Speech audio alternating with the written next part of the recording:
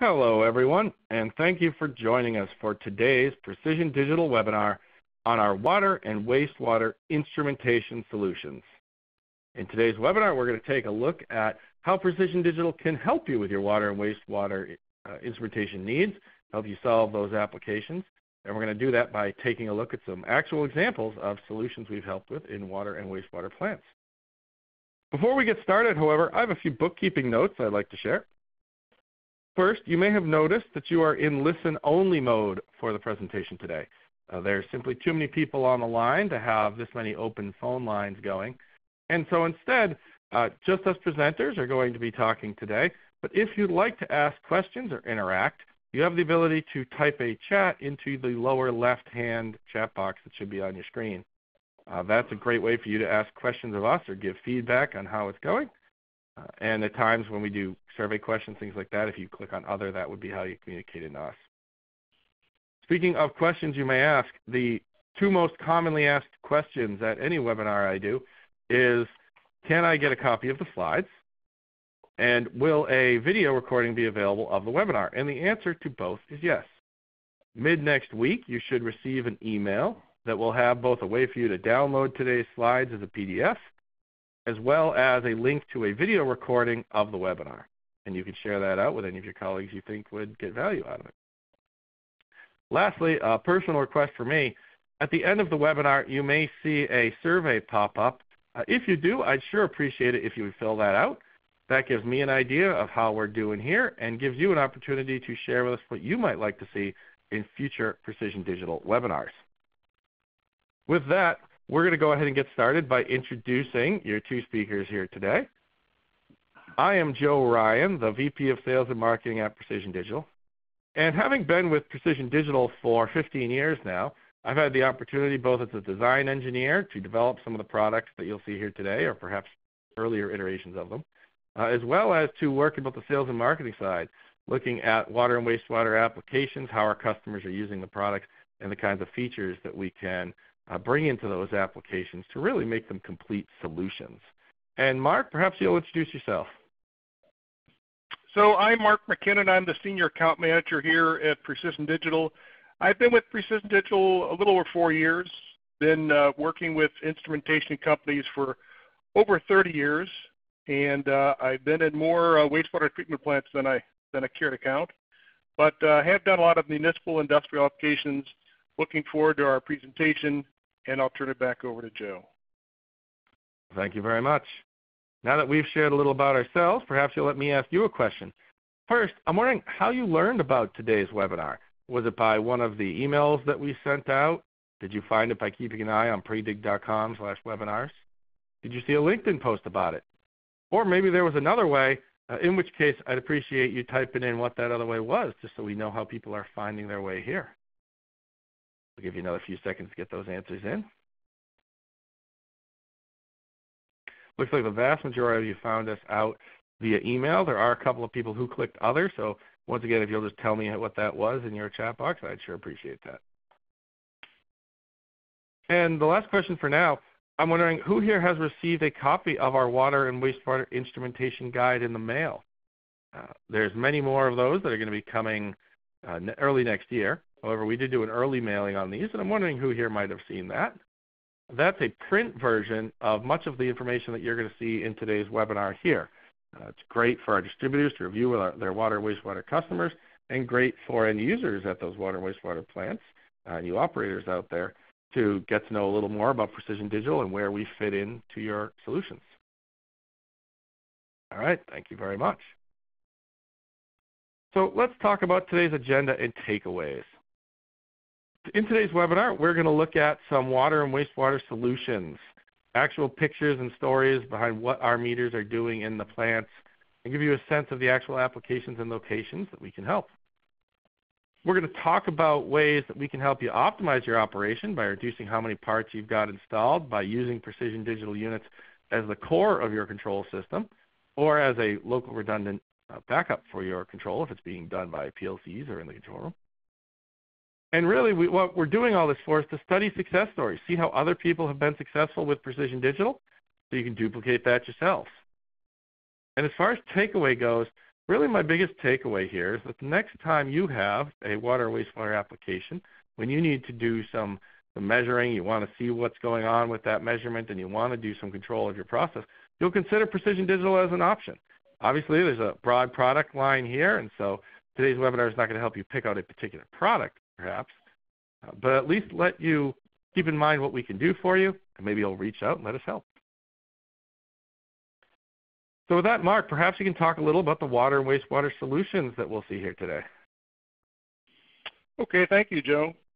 Uh, this presentation follows the 36-page guide that Joe mentioned, and we hope that this guide shows you how Precision Digital does provide a more complete solution for level, flow, temperature, pressure, turbidity, many other applications that you'll see in water and wastewater plants. These six pictures are some of the applications that we'll talk about in the next uh, half hour or so. The first one you see upper left is the uh, upgrading of filter consoles. And we will go into that a little bit in a future slide, but uh, that's certainly a big application that we see in uh, wastewater, or actually probably more water treatment plants. The totalizer that you see on the right here, this really is showing that we do totalization for flow applications. We usually have the flow rate on the top and the totalization on the bottom. But the other thing this shows is we're not really just general purpose NEMA 4X. We have a wide variety of uh, enclosures we could put our meters into. They could be explosion proof, they could be intrinsically safe. Uh, we have a lot of customers that want class 1 div 2 non-incendive, so we do have those meters also in addition to, of course, uh, just NEMA 4X GP uh, like we see here. You'll see that we monitor digester temperature, digester level, open channel flow, a lot of open channel flow applications we will see that we actually do a lot of wastewater applications that are just in industrial plants, maybe pharmaceutical, food and beverage, and we can control and alternate pumps. We do a lot of pump control. Uh, matter of fact, if you go to www.pumpcontrol.com, you'll come to our website and you'll see how we do uh, pump control in lift stations, wet wells, clear wells, and uh, in sump plants. We'll also see that we do we add alarm capabilities. We do a lot of gas monitor applications. So this is a gas monitor application. We'll monitor gases and show the display. Well, actually, not monitor them, but show them for the chlorine, methane, hydrogen sulfate, and other gas detection systems like oxygen, oxygen deprivation. And lastly, we'll talk a little bit about wireless. We do have a lot of wireless applications that we saw with our 900 megahertz frequency hopping spread spectrum. So some of the features that you'll find useful in water and wastewater applications with our meters. First of all, as I mentioned a little bit before, we do have uh, UL listings. So we have UL listings, UL listings for electrical safety, and that would be for UL and CUL for Canada wide operating temperature range, so we go negative 40 to 70 or 160 F. Sunlight readable displays. We have a lot of very bright displays. You see some of them on this sand filter console right here. We have bright displays that can be seen from 30 feet away. We have our Helios that you can see from 100 feet away. So very bright sunlight readable displays, definitely for outdoor use. And then of course NEMA 4X pretty much everything we sell is going to be NEMA 4X at a minimum because obviously our installations are in wet and dirty areas. And with that, I'll turn it back over to Joe. Thank you, Mark. So what I'd like to do before we dive into the application stories and photos is talk a little bit about the common features and capabilities that you're going to see in those photos. Uh, instead of going in detail in every single one about the wiring and the setup and the part numbers involved. Let's just talk about a few of the general things you're going to see that the precision digital meters are doing in these pictures. And so the first one is going to be that we not only display, but we also now offer light and horns, which are great for alarming possibilities. And so what you see here are units like our Trident X2 panel meter, our Helios large display meter, and our Consolidator Plus multi-channel controller. And what we've done is either directly on the meter in the case of the Helios, or on the enclosures in the case of the Trident X2 and the consolidator, we've added these light and horns to the top of them. These are connected into the relays of the units, and they allow you to have whatever color or set of colors you may want here uh, to display the status of your system. What's great about these as a system is that Precision Digital provides you not just the meter, but the enclosure, and the enclosure has cutouts for the reset buttons and the light and horn. So you've only got a few minutes worth of installation work to do to get this all up and running. And now you've got a real control package that's just ready to be installed out there in the field that can have big bright displays on them so you can see them from 30 or 100 feet away. But then also have lighting indicators with a horn on there to get attention even further away or really bring the operator's attention to it in case there's a problem. Probably the most common feature present on all of the examples we're about to see is the fact that precision digital units provide the power you need to run your transmitter loop. And what I mean by that is if you've got, for example, a two-wire transmitter, we provide the 24 volts needed to run that 4 to 20 milliamp loop. And that eliminates the need for you to provide a power supply inside the enclosure, adding just another part and another cost. All you've got to do is connect up your P plus to the transmitter, the minus of the transmitter to the milliamp plus, and then you do a little jumper wire across the P minus of the common, and you've got a fully isolated power supply running an isolated loop going to your two-wire transmitter. Now, if you've got a four-wire or a three-wire transmitter, we provide up to 200 milliamps on that supply to run that. So for anything other than, say, a gas detection unit, that means we've got plenty of power to power up your transmitter. And again, you just use our P plus to run the power terminals, and then you bring your 420 milliamp signal into our milliamp plus in common. You had a four-wire transmitter, you just connect it up using the four wires instead of the, the jumpered P minus in common. And what's great about this is it means that all you're doing is connecting two devices. You don't have to worry about loops. You don't have to worry about having DIN rails in the back to hold power supplies. It's just a lot easier to set up your system when you use us as the power supply.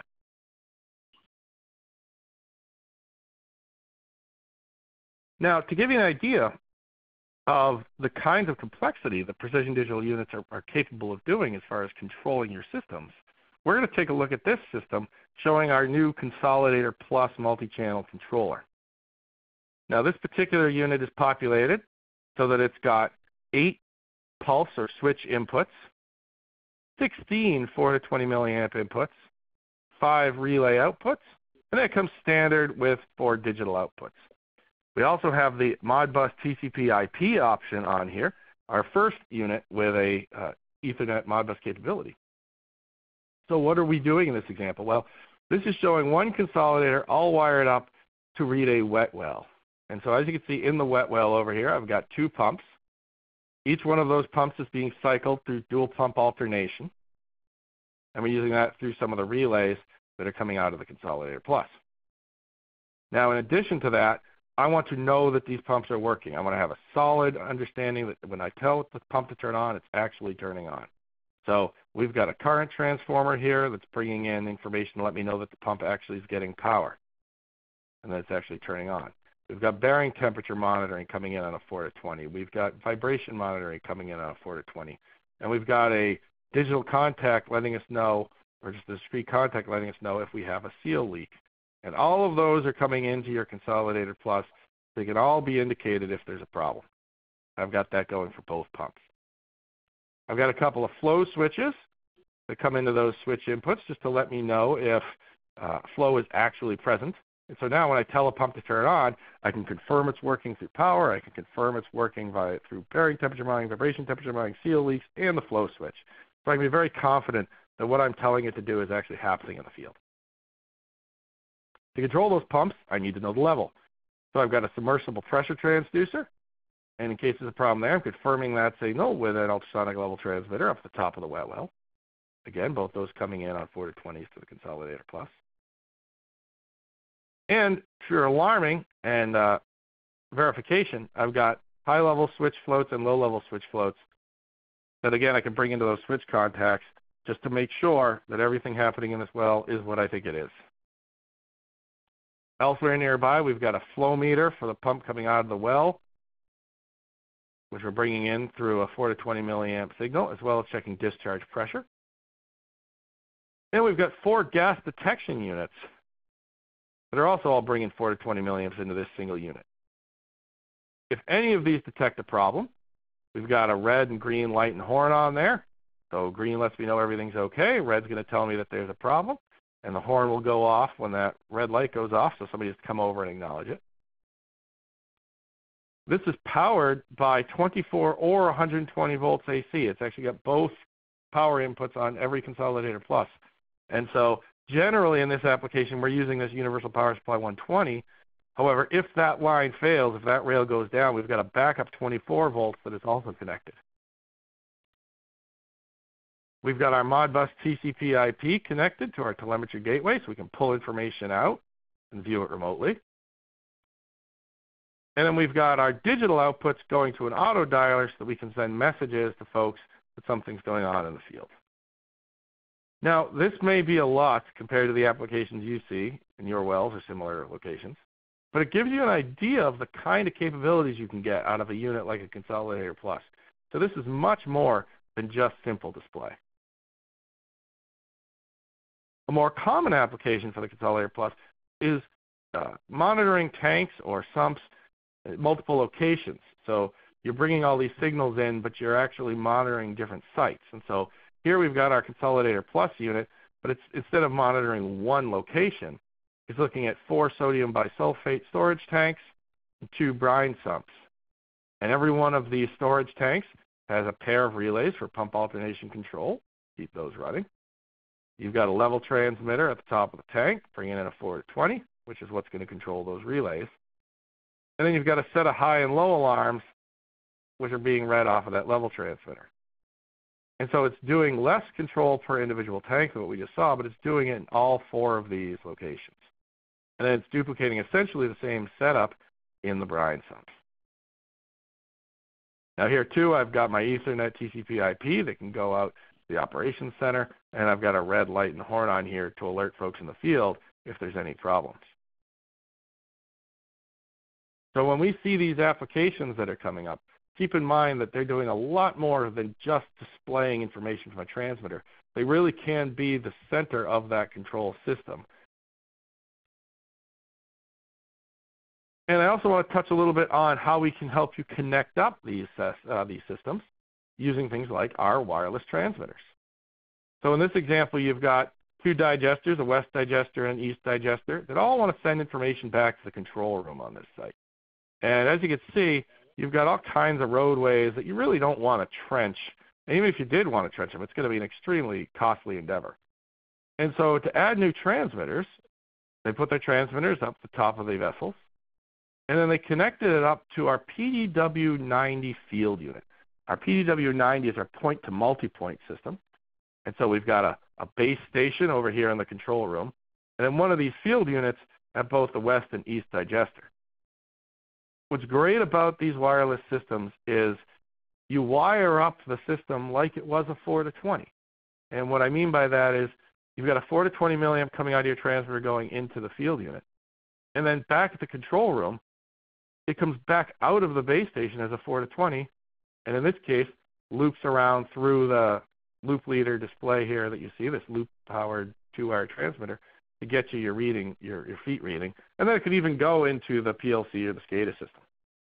And so it's really a wireless bridge designed to seamlessly break a 4 to 20 milliamp signal, so you don't have to run wires. But on each side of the wireless system, the rest of the system just thinks it's a 4 to 20 that you hardwired back to the transmitter. So it's a very easy setup. And in a case like this, where you have nice outdoor line of sight capability, uh, you can get a lot of range out of it and a lot of reliability. So one more question for you before we jump into our application stories. Uh, we talked a little about the Consolidator Plus. I'm wondering how familiar are you with the Consolidator Plus? Have you had an opportunity to use one and set it up yet and consider yourself an expert? Are you familiar with it? Meaning you've probably heard about it. You might have specified one or looked into using it. You're not really sure what it is, but you might have heard of it, so you know very little about it, but you know that it is a product. Or are you curious what the heck a Consolidator Plus even is? And looking at the results, it looks like we don't have anybody who considers themselves an expert on that product here. Not a surprise, it's a new product, less than a year old. Uh, however, uh, it does look like many of you are familiar with it or at least know a little bit about it. So happy to see that. And with that, Mark, why don't you take us through some of our water and wastewater success stories and application photos? Okay, thank you, Joe. The first one we'll talk about, I mentioned a little bit earlier, is filter console upgrades. So this is usually in sand filters. These are where we see old, hard to see digital panel meters on filter consoles that have been replaced by our X2, our Trident X2. So what do we mean by Trident X2?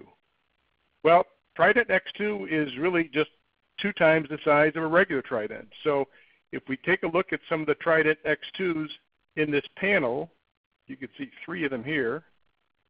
Very bright meters. These meters can be seen from like 30 feet away, uh, even in direct sunlight. So they're very often used in filter console upgrades like we see here.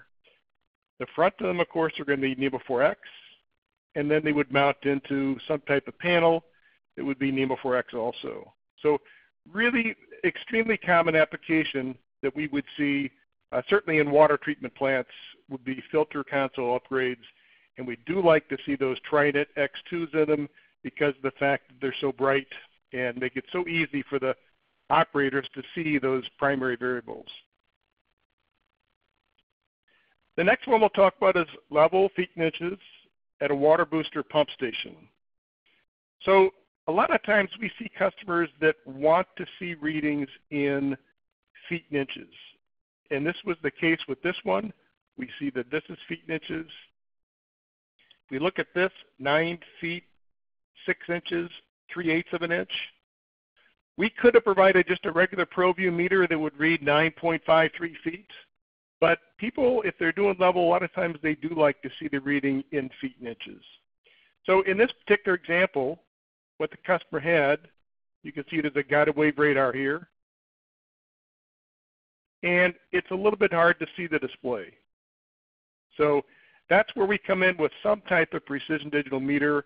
And like I said, this is in feet and inches. We do have it mounted in our PD 3411 enclosure.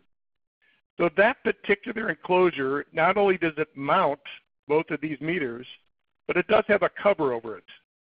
So it's a real common enclosure that's used in water and wastewater plants because it gives you a little bit of extra protection from uh, spills and splashes on the meter itself.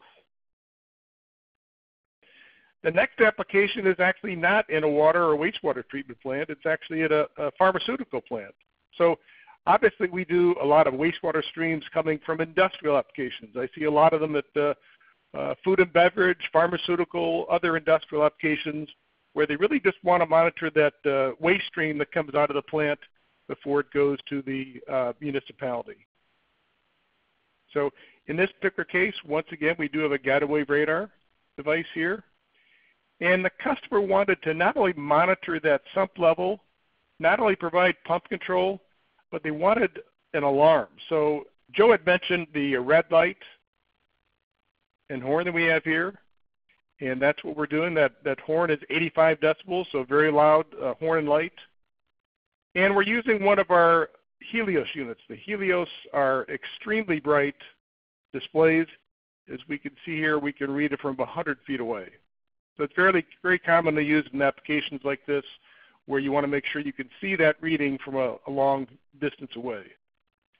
So just another example of us using a bright meter, not at a water and wastewater plant, but an industrial plant, in this case, a pharmaceutical plant. The next success story we're looking at is uh, just a, a, tank side level measurement. So the customer, this is actually a digester. Doesn't look like one, but this is a, a digester application. Uh, we have some type of uh, level device here. I'm assuming this is probably a radar, but it could be ultrasonic the tank side level that was needed, plus, once again, we see an audible and visual alarm indication. So we started selling these horn and light a little over two years ago. They've sold extremely well. We just add the horn and light here.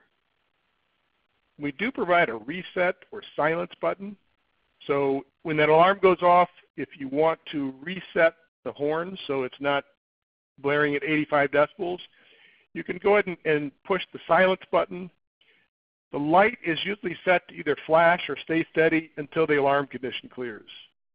So once again, we see we have a PD 6001 feet and inches mounted into our PD, PDA 2301 enclosure. And like I said, we do the horn and light also. The horn and light are triggered by relays that are inside this uh, ProView PD 6001. So just a typical tank side water treatment application.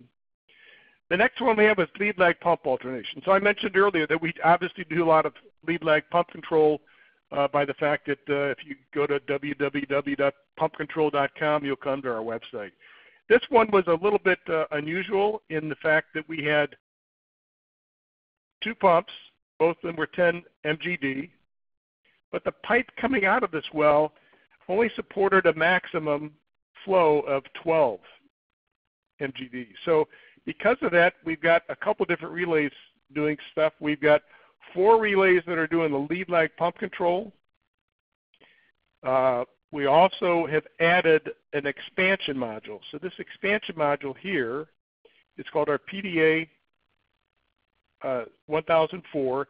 It adds an extra four relay capability. So if we sell something called the uh, PD6000 6R4, which is what this is, that four means it's got four relays.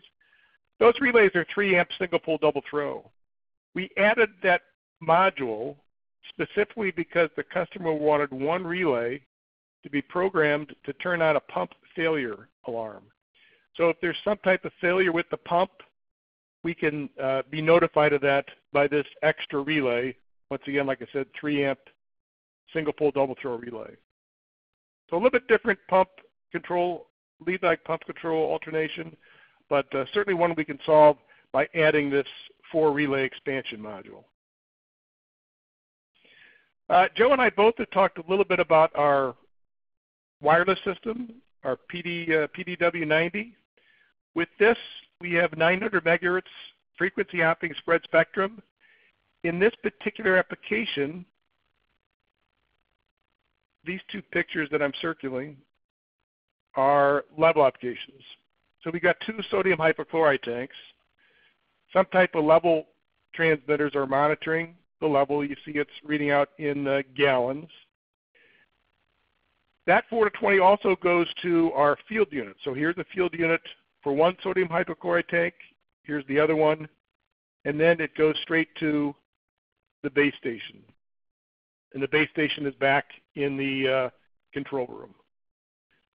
So that is the first application we see here. The second one is a flow application. So these two pictures here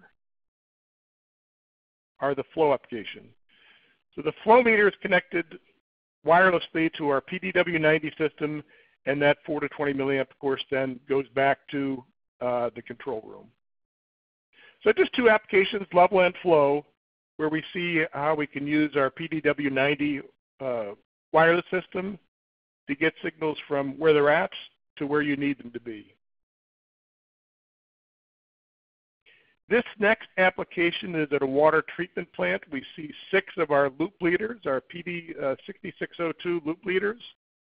Very nice uh, 14 segment, very legible display. And uh, these are being used for, we have three for pressure, so PSI, and then the bottom three are level, just reading out in feet. This time, feet and inches weren't needed. So six meters being used at this water treatment plant. Obviously, we're just taking the 4 to 20 milliamp. We can take a 4 to 20 milliamp whether it's level, flow, pressure, temperature, turbidity. But these are loop-powered units. The nice thing about that is you can really just put these meters wherever they're needed, just break in the loop and install the meter. We obviously do a lot of open channel flow applications.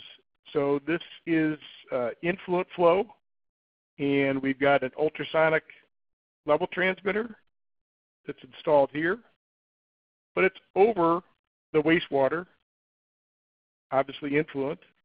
uh, and uh, the customer needed some way of powering up that ultrasonic transmitter, which of course we're doing with our PD6200 over here, relays for alarm and control, and this particular one is one of our Sunbright LED versions. So what does that mean? Our normal ProViews are very easy to read, very bright, but we can provide for outdoor applications where there might be a lot of sunlight. We can provide the SunBright LED. That means they can be seen from about 30 feet away. So in this particular case, this is a 48-inch Cipolletti Weir.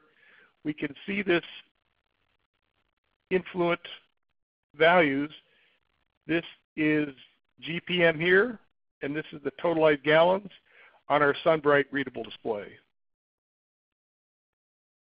And this is once again installed in one of our uh, enclosures that has a lid over it. This is the PDA 3407 NEMA 4X enclosure. The last application I'll talk about is once again open channel flow. This is effluent open channel flow, so a little bit cleaner water. And we can see that once again we have some type of ultrasonic transmitter installed here. It's over a Parshall flume. And they just wanted a, uh, a local display that was loop powered. That's what we see here. Once again, I think this is GPM on the top and uh, totalized gallons on the bottom. It's a very typical application that we have for water and wastewater. The last thing I'll point out is most of the ultrasonic transmitters I'm familiar with, this is the transducer, they probably have those open channel flow uh, weirs and flume equations in the ultrasonic transmitter. But if need be, we can program that into the precision digital device and do the conversion from uh, distance or head to uh, open channel flow. And once again, this is installed in one of our enclosures. This is our PD, uh, PDA 2811, very low cost plastic enclosure, NEMA 4X rating.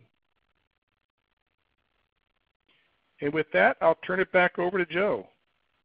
Well, thank you, Mark.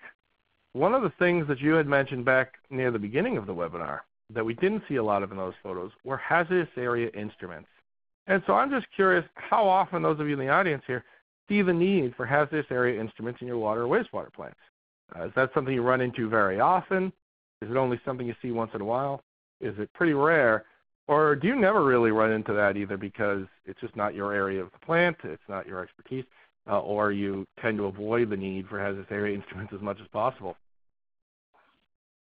And interestingly, it looks like uh, 60 plus percent of you here are saying that very often or sometimes you have a need for hazardous area instruments. So I would encourage you to keep in mind that some of the solutions you saw here today actually are available as hazardous area products, especially those uh, LCD panel meters, those loop powered panel meters, the loop leaders, which are uh, available as intrinsically safe and non-incendive units.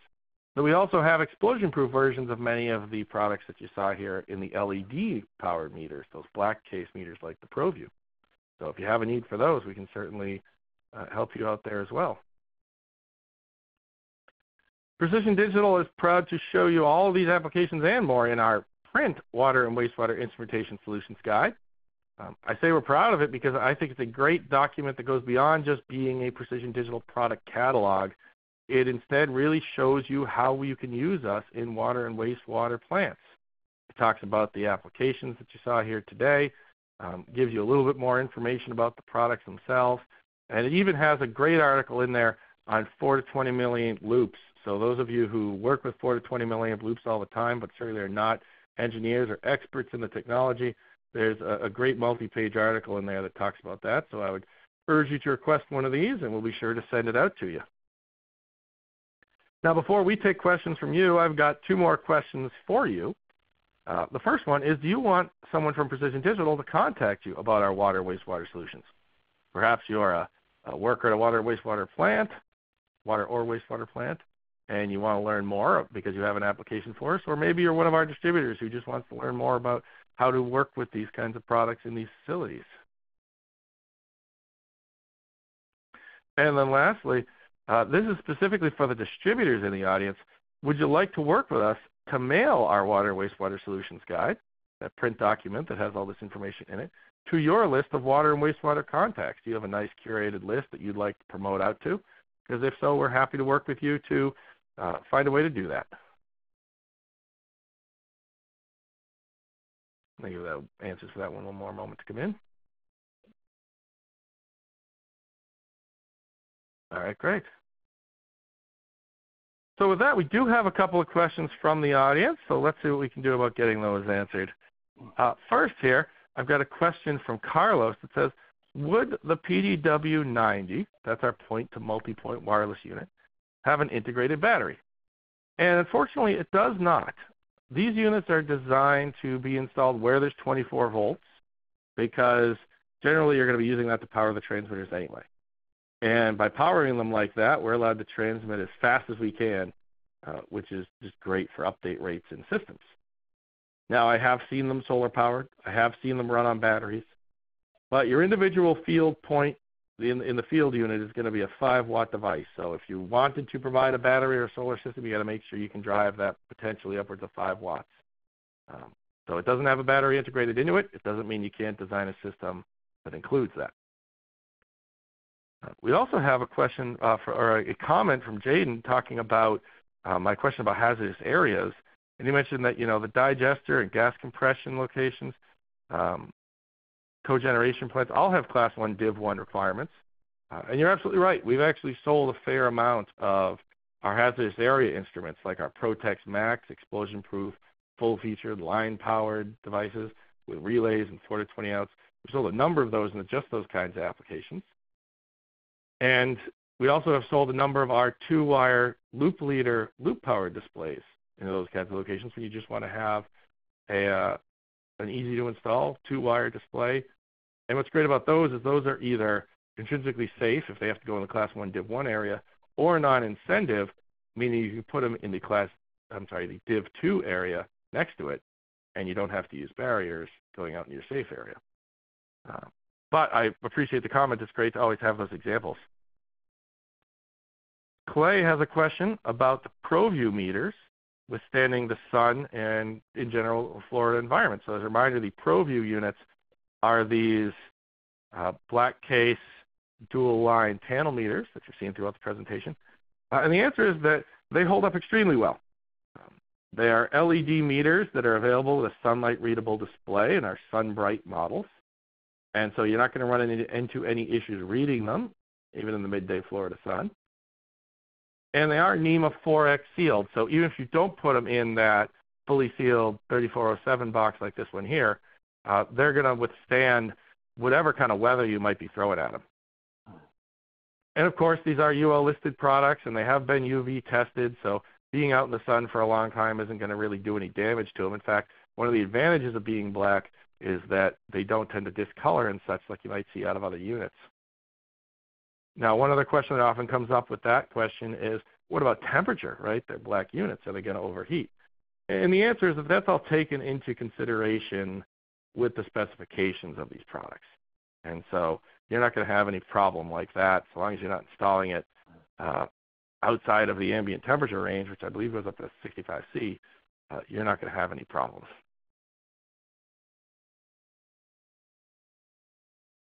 Uh, we also have a question from Vernon. Um, a demonstration on programming or setting up the Consolidator Plus is something like that available. And what I would say is that with the Consolidator Plus, what you would find is that though it is capable of doing a whole lot, as a reminder, the Consolidator Plus is that unit that we were talking about earlier that uh, I had given these two examples on. Though the Consolidator Plus can do a lot, you don't code it like you would a PLC you program it much like you would one of our panel meters, and it auto sizes the display and sets up your bar graphs and such as needed. Even sets up the colors for you very easily.